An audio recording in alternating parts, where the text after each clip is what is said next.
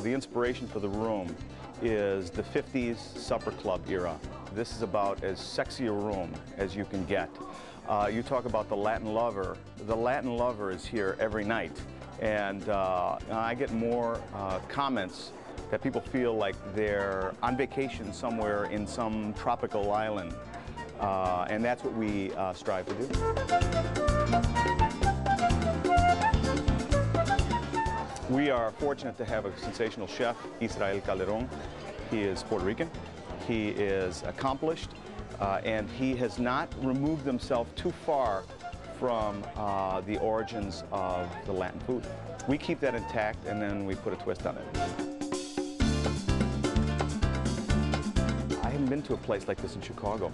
It is a one of a kind, and we're not trying to be anyone else. Uh, most people forget uh, what their day has been like when they walk in here because there's a lot going on. I'd like them to walk into their offices tomorrow and uh, think about a great night that they had um, the night before over here with us.